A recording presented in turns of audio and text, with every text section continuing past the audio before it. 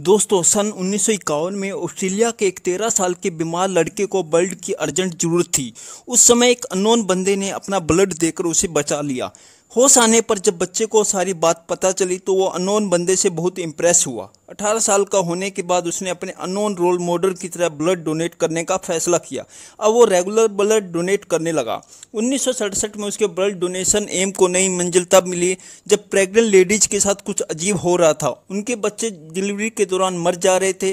Research के बाद ये सामने आया कि उसे बंदे के ब्लड ग्रुप से इन लेडीज़ की प्रॉब्लम का सोल्यूशन मिल सकता है। वो लड़का इतना सुनते ही ब्लड देने को तैयार हो गया।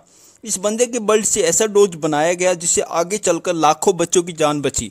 ये बंदा अब चौरासी साल का हो चुका है और उसने ग्यारह बार ब्लड डोनेट करते हुए चौबीस लाख बच्चों की जान बचाई है।